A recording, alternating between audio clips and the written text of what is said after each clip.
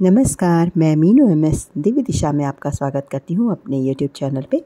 आज मैं, जैसे कि आहोई अष्टमी का व्रत आने वाला है करवा चौथ के चौथ के बाद में अष्टमी होती तो अष्टमी में अहोई अष्टमी यानी संतान की लंबी आयु के लिए व्रत रहा जाता है। और इसकी कथा सब सुनेंगे तो आपको सब कुछ जानकारी हो जाएगी। तो मैंने एक कथा तो अपलोड कर दी है और दूसरी जो है मैं आपको सुनाने जा रही हूँ। तीन कथाएँ हैं।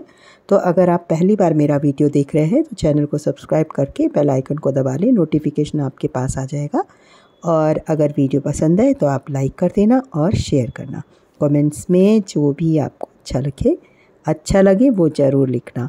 आप सुन के ऐसे नहीं बैठना। प्लीज़ ज़रूर कमेंट्स में लिखना, ठीक है?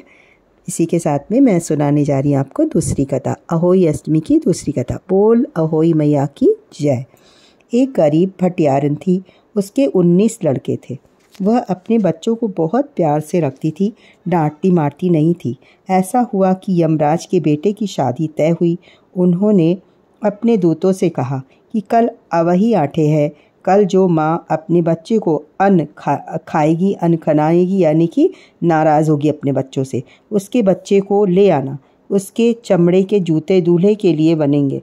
दूतों ने देखा कि ए, इस भटियारन के तो उन्नीस बच्चे हैं, ये ज़रूर अनखनाएगी देखें, सवेरे क्या करती है? उसने सवेरे उठकर सबको नहलाया, सोचाया और हाथ मुँह धो दिया।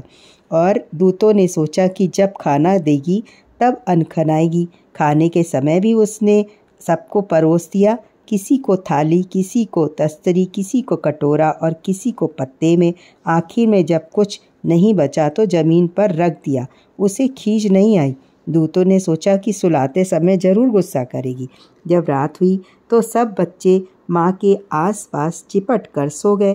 तब अब भटियारन बोली कि मेरा शरीर तो ढक गया, पर नाक में अभी भी जाड़ा लगता है।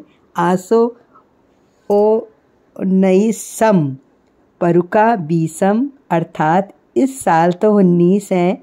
हे भगवान, अगले साल बीस कर दो, जिससे सारे ही शरीर की सर्दी से रक्षा हो सके। दूतों ने कहा कि यह क्या खींचेगी यह तो और मांगती है। अगले साल उसके पूरे बीस बच्चे हो गए। तो देखा कितना बढ़िया कहानी है। और वाकई में जब संतान का कोई भी फेस्टिवल होता है, कोई भी त्यौहार होता है तो हम कोशिश करें कि अपने बच्चों को ना डांटें। ऐसा होना असंभव है, लेकिन कोशिश की जा सकती है, क्योंकि बच्चे तो नटखट होते ही हैं। तो बच्चे तो शैतानी करते ही हैं, थोड़ा सा इग्नोर करना चाहिए। और ख़ासकर अहोई अष्टमी बहुत ज़्यादा बड़ा पर्व है। अगर आप जो है व्रत नहीं भी रहते हैं, कथा सुनेंगे, उससे ही आपको काफ़ी पुण्य होगा और शेयर करेंगे, उसका डबल पुण्य होगा। लाइक करेंगे तो मैं खुश होंगी। तो मैं भी तो आपको सुना रही हूँ ना, तब भी तो आपको पुण्य ही होगा ना।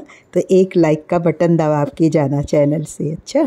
और चैनल आपने सब्सक्राइब नहीं किया है तो ज़रूर कर लेना क्योंकि मैं तीसरी कथा भी आपको बहुत इंटरेस्टिंग है सुनाऊँगी। इसके साथ में बहुत बहुत इंपॉर्टेंट कथाएँ हैं जो मैं आपको सुनाती रहूँगी।